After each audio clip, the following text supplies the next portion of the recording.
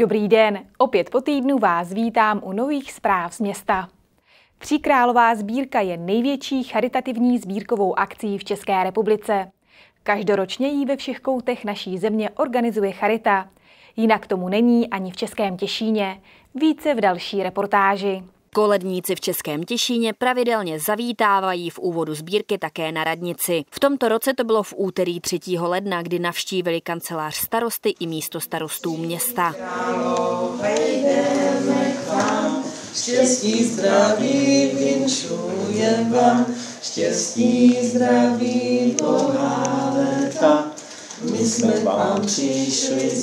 Začal nový rok, tak jak je naším zvykem v Charitě, jsme přišli dneska poblahopřát vedení města, popřát požehnaný rok, mnoho úspěchu a všechno dobré pro všechny občany města Český Těšín. Přišli jsme koledovat a máme sebou tři krásné krále. Koledníci vyráží s označenými a zapečetěnými kasičkami do terénu ve skupinkách a pohybují se od domu k domu nebo od bytu k bytu. Skupinky jsou složeny z dobrovolníků. Sbírka bude trvat dva týdny. Koledovat bude kolem 50 skupinek, protože máme zapečetěných 50 pokladníček, tak uvidíme, jak se vše podaří a zda nám počasí dovolí koledování uskutečnit tak, jak plánujeme. V loňském roce se v oblasti, kde poskytuje Charita Český Těšín své služby, podařilo vykoledovat celkem milion 200 korun. Přímo na území města Český Těšín to bylo více než 320 tisíc korun. Peníze, které se vyberou v letošním ročníku sbírky, mají již nyní své určené využití. Letošek jsme se rozhodli poprosit občany města o příspěvek na charitní taxík Maxík, protože ceny energii se zvedají a proto potřebujeme finanční prostředky na dokrytí charitního taxíku. Dále bychom rádi vybudovali výtah pro seniory v charitním domě pro seniory, který taky provozujeme v Hnojníku. A pak bychom rádi nakoupili elektrokola vybavení pro naše denní služby pečovatelskou, asistenční a, a zdravotní. Přispět do sbírky mohou také ti, kterým se nepodaří s koledníky setkat. Možné to je například prostřednictvím dárcovských SMS. Více informací můžete nalézt na webové stránce www.trikrálovazbírka.cz. Poprvé v tomto volebním období se na společném jednání sešli českotěšínští zastupitelé se svými protějšky z polského Češina, aby zhodnotili vzájemnou spolupráci. Setkání se uskutečnilo v pondělí 9. ledna v Domu Narodovým v Češině. Unikátní spojení a spolupráci Českého Těšina a Češina potvrzuje i společné setkávání zastupitelů, kteří tak mohou získat informace o probíhajících i chystaných projektech a o práci celkem šesti pracovních skupin. Ty se zabývají různými oblastmi bezpečností, kulturou nebo sportem a přinášejí konkrétní návrhy a řešení, jak spolupráci zlepšit a rozšířit.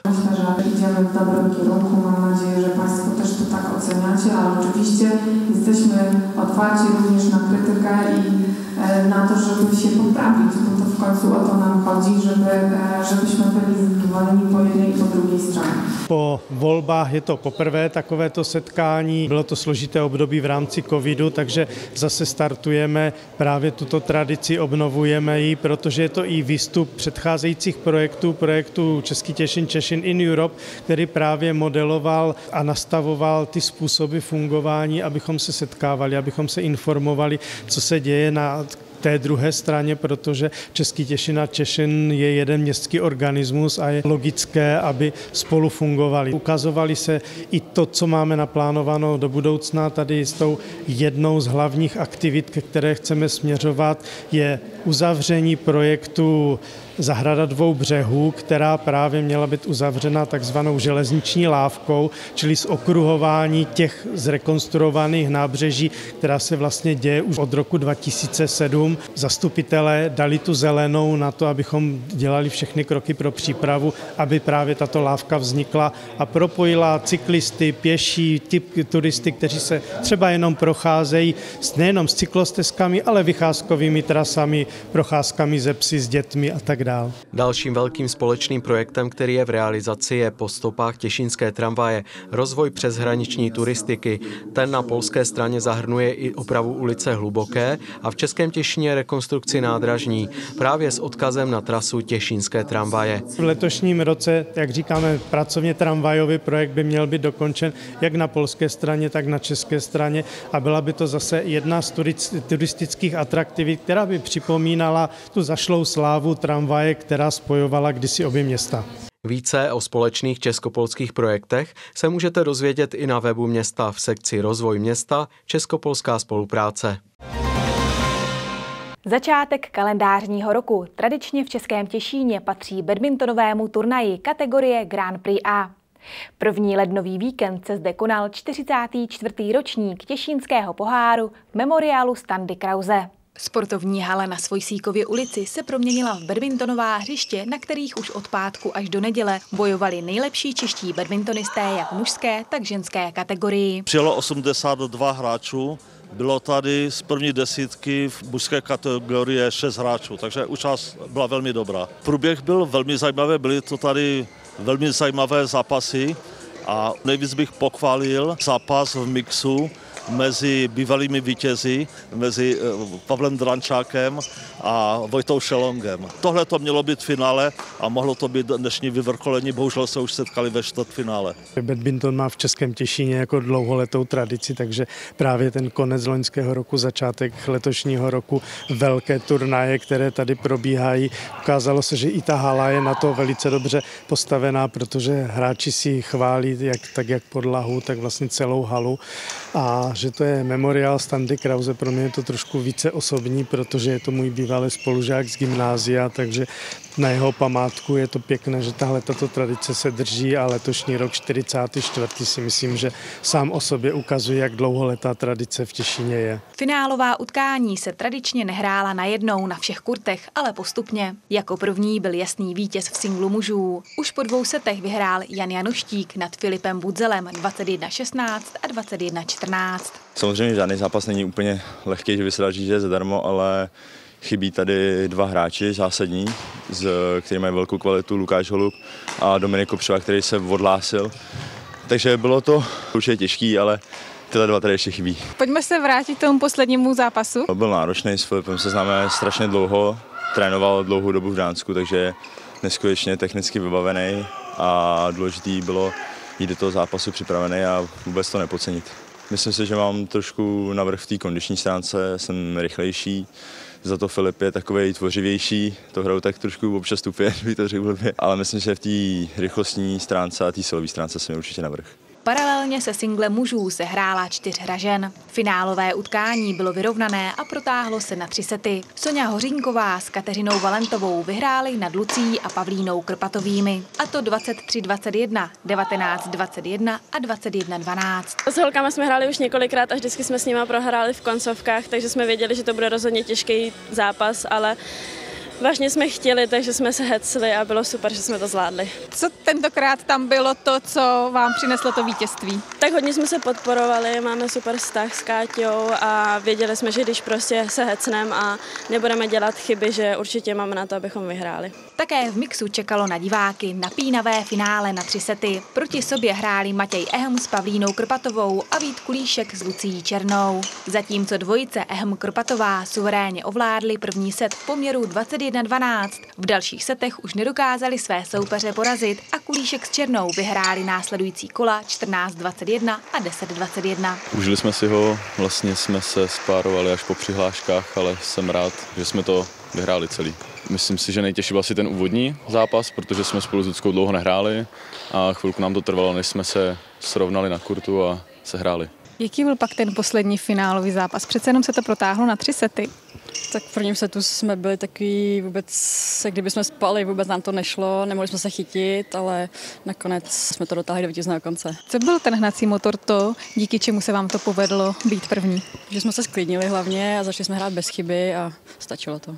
Zatímco v mixu se proti sobě postavili už ve čtvrtfinále a bylo to jedno z nejnapínavějších utkání memoriálu. Ve čtyřhře mužů už byli spoluhráči. Pavel Drančák a Vojtěch Šelong už tak trochu patří k domácím hráčům Těšínského poháru. Po třech setech 21-11, 21-23 a 21-6 vyhráli nad dvojicí Jakub Diviš, Jakub Horák. Užili jsme si ho hodně, protože uh, oni jsme přijeli a Pája se zranil hned první zápas, takže jsme vlastně hnedka odjeli zpátky do Prahy takže letos jsme byli rádi, že jsme vůbec odehráli nějaké zápasy, vyhráli jsme, což je, jsme potvrdili asi to, co jsme chtěli teda tady vyhrát a takže já si myslím, že bych to hodnotil kladně hodně. V tom finálovém utkání to byl trošku zápas zkušenosti a mládí. Tak jak moc náročný pro vás byl, protože přece jenom byl na tři sety?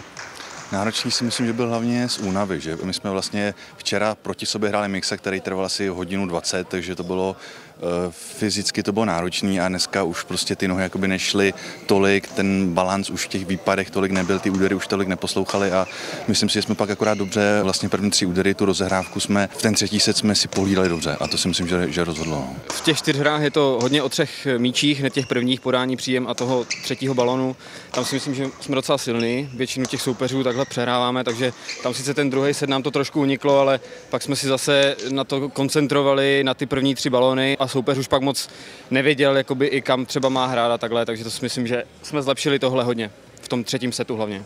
Jako poslední bylo na řadě finále žen. Proti sobě nastoupily vítězky z předchozích finálových zápasů Sonja Hořínková a Lucie Černá. U obou hráček už byla viditelná víkendová únava a tak se hra přelévala ze strany na stranu. Po výsledcích 22-20 a 12-21 musel rozhodnout třetí set 16-21 pro Lucii Černou. Těší asi tenhle ten single poslední. Se Sonjou se známe. Sonja za nás hraje za Krumlov Extraligu, takže spolu hrajeme čtyřhru každá ví, co na sebe hrá, co na, to, co na každou platí, takže asi z toho důvodu to bylo nejtěžší.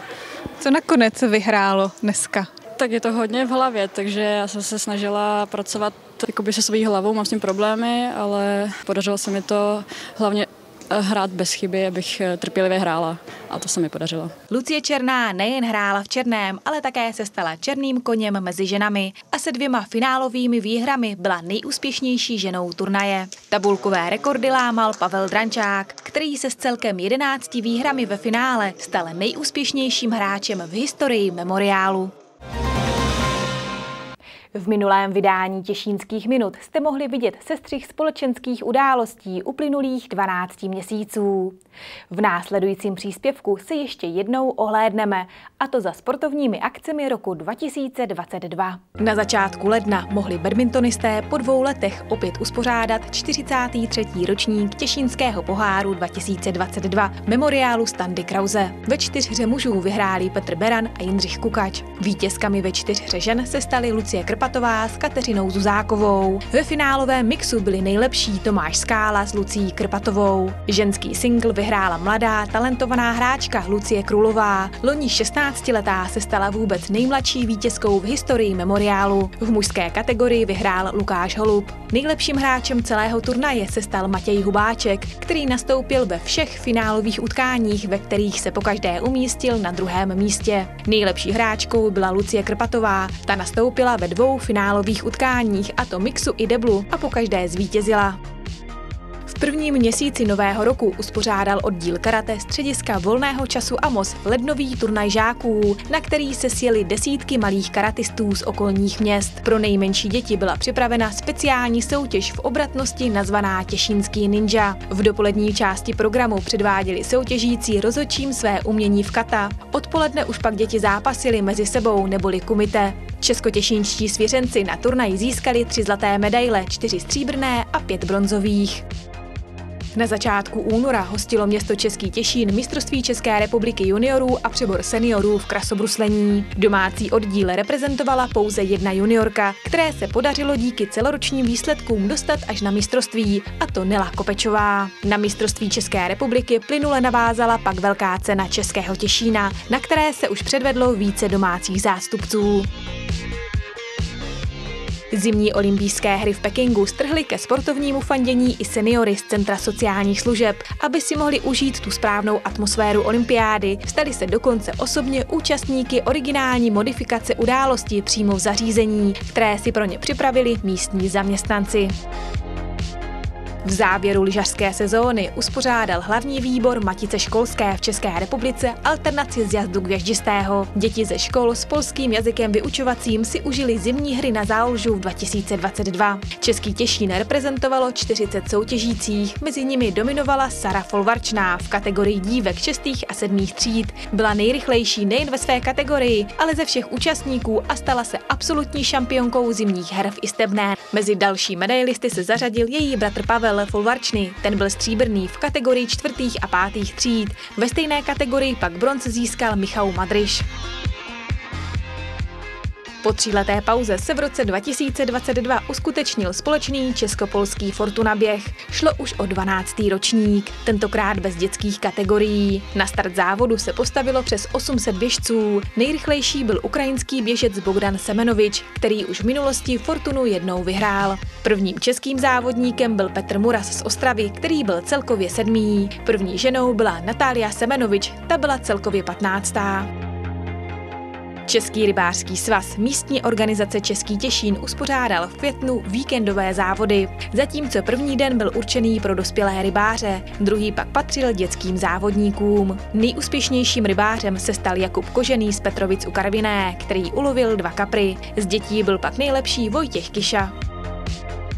Ve sportovním areálu na Frýdecké ulici se konala atletická soutěž Čokoládová tretra. Soutěžilo se od miminkovských kategorií až po žáky. Vítězové postupových disciplín závodili pak na ostravském mítingu Zlatá tretra parku Adama Sikory se uskutečnil běh pro mediku. Proběhnout se na čerstvém vzduchu a přitom podpořit dobrou věc přišly desítky malých i velkých. Spoluorganizátorem se stal hokejový klub Vlci Český Těšín. Výtěžek ze závodu šel na provoz mediky, která provádí lékařské úkony v domácím prostředí a také na provoz mobilního hospice červnu po necelém roce byl čtvrtý ročník Těšínské osmičky, charitativního běhu na Dace Agel a opět se běželo z nemocnice Podlesí přes Ropici až do parku Adama Sikory. Akce se zúčastnil rekordní počet běžců, mezi kterými nechyběli ani slavní sportovci, jako nejúspěšnější český stolní tenista Petr Korbel a dvojnásobný olympijský vítěz Lukáš Krpálek. Nejrychlejším běžcem tohoto závodu se stal stylem start cíl moderní pětibojař Marek Grič.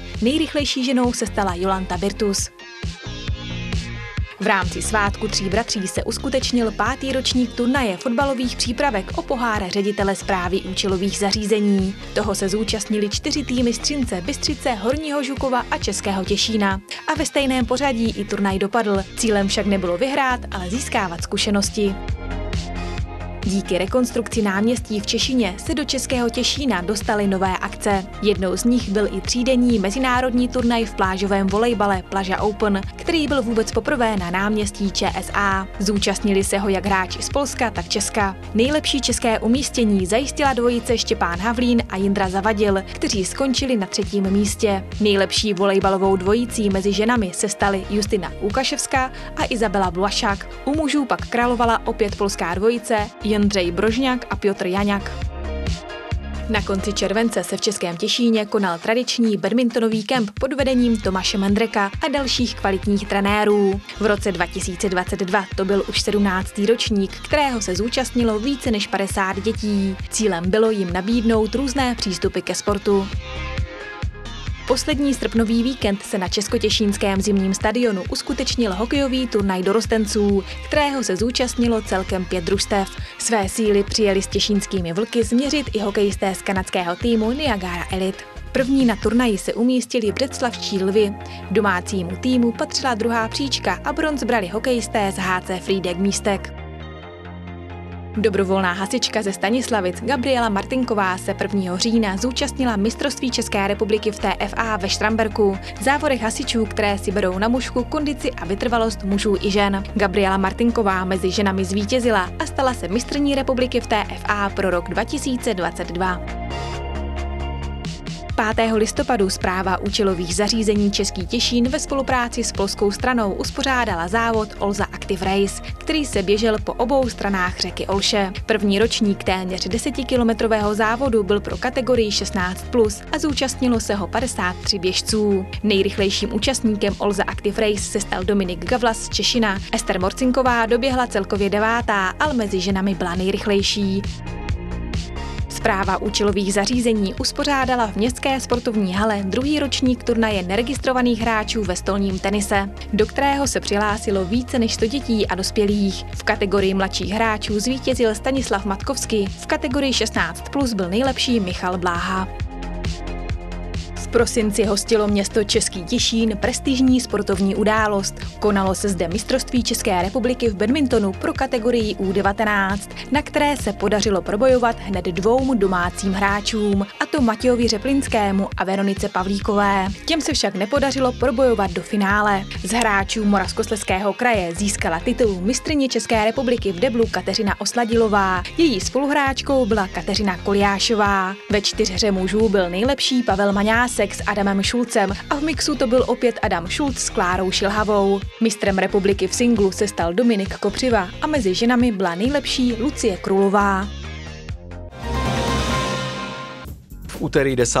ledna začal ve městě svoz vánočních stromků odpadovou firmou. Jejich sběr bude pokračovat ještě v úterý 17., 24. a 31. ledna. Následně je odpadová firma předá k energetickému využití. Vánoční stromky lze odložit pouze ke kontejnerům na směstný komunální odpad. Na drobné větvičky z vánoční výzdoby lze využít i kontejnery na bioodpad. Na větvičkách i na vánočních stromcích nesmí zůstat vánoční ozdoby a háčky. Sportovní sestřih uzavřel rok 2022 v našem vysílání. Opět za týden se na vás budeme těšit s novými informacemi z Českého Těšína. Do té doby se mějte hezky. Na viděnou.